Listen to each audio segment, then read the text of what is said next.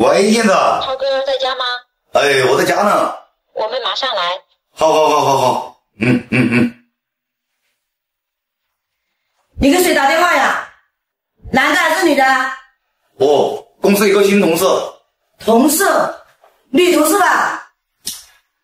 哎，老婆，我说你怎么现在对我那么敏感呢？我问问都不行啊？不是，你干嘛动不动就怀疑我呢？你看你，上个星期刷了我十多个同事的电话，你现在更过分了。我手机上还加上你的指纹，你才放心。老婆啊，你以前好像不是这样吧？我以前怎么了？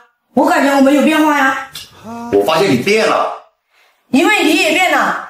你以前呢是一个公司的小职员，每天晚上十点多之前，你都会回到家里面，一个星期最起码也要陪我两三天，早上问候，晚上伺候的。你看现在呢，你当上了部门的经理以后，早上呢又起得那么早，晚上呢又睡得那么晚，你连一句问候都没有。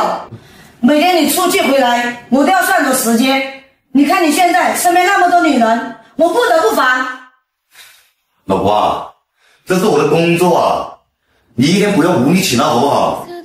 我这是无理取闹吗？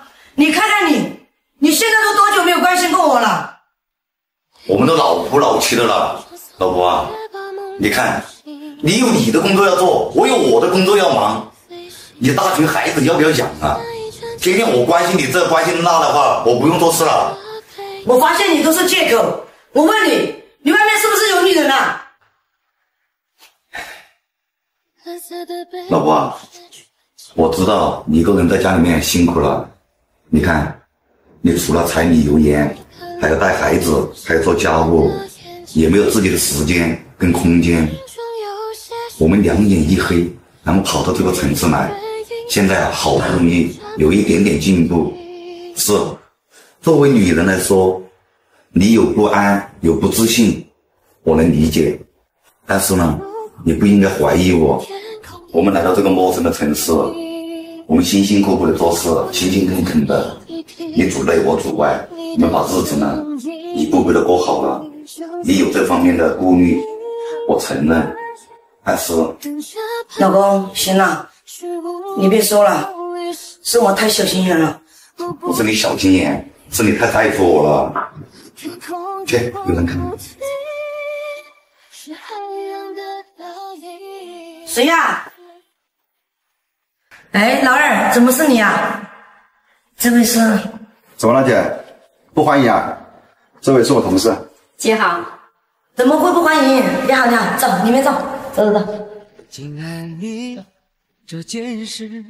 姐，怎么眼睛红红的？刚刚哭过了？没有啊，没有。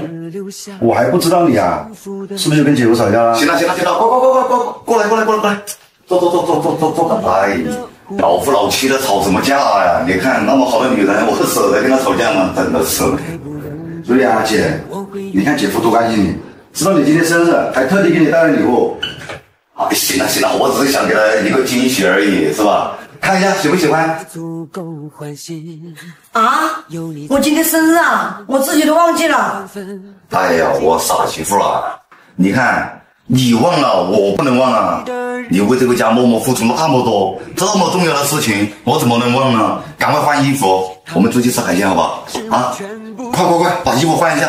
那好，等一下我换一下衣服。下辈子不一定还能遇见你，所以我很珍惜，不敢大意。自己心里面黑，搞得好像整个世界都是黑的一样。你扯我头呢？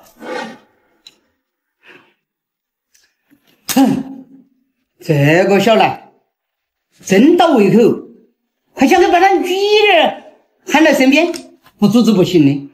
哼，哪里有这种人嘛？嗯。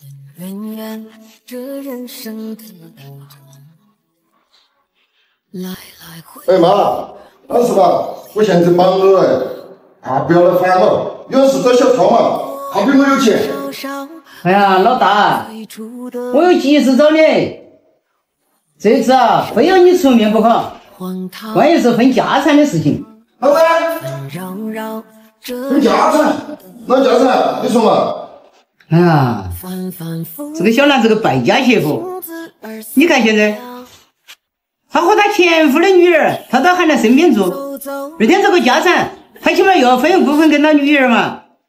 不行，这个事情你要得想办法哈。小兰还有个女儿，我咋不晓得呢？哼，你不知道的事情啊，还多着嘞。真的，这个女人欠收拾。赶紧回来吧。好好，我马上回来。嘿，真。在这人生的道场，谁不想风风光光？哎，老婆，等了等了，你不要慌，我来扶你下车哈。呀，我有那么娇气吗？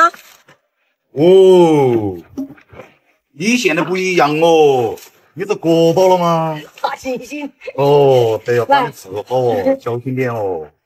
来来来来来来来来，我听。小超，万一他们还要气头上怎么办？要不我们一起打个电话，喊他咋子不要过来？要不然让你夹在中间也为难啊。不行，琪琪再怎么说，她也是你女儿啊。你既然选择跟我结婚了，那我也算她半个爹嘛。你看娃儿也怪可怜的，这点小事我都处理不好，我算个男的吗？走走走走走。可是，哎呀，可是啷个？哎呀，不要多想，走走走。肯定不能让他女儿回来住啊！开玩笑，你等他回来，你看我啷个收拾他？就是。爸，我们回来了。哎，大哥，你下班回来了？那我给你买的你爱吃的葡萄。那是你妈，看到你就烦。哦，对了，大哥，我大老远都听到你在这里叫叫叫叫的，转来转。你也不跑到我家里面做搅屎棍，你心里面不舒服啊？我跟你说样子，真是的。小超，这大哥说的没有错啊。你看小兰把她前夫的女儿带在家里住，她就是有了阴谋。没错，他肯定就叫他姑娘来分家产的。哼。他这个如意算盘打得好哦！妈，大哥，你们说的是哪样哦？你看我是这样的人是不是嘛？小兰，我告诉你，少在我面前假惺惺的，我不让他进来住都不让他进来住，你可能吗？对的，小超是我亲兄弟，我没让小超上当受骗的。我把你们两个是电视剧看多了哦，自己心里面黑，搞得好像整个世界都是黑的一样。你扯我头呢？这里面所有的东西，那都是我们两个一手打拼出来的。那我就算把所有的财产全部给他女儿，关你们哪事嘛？真的是一天天的。小超，这个女人给你灌了那个迷魂汤啊！你连妈和大哥的感受你都不顾了，真是的。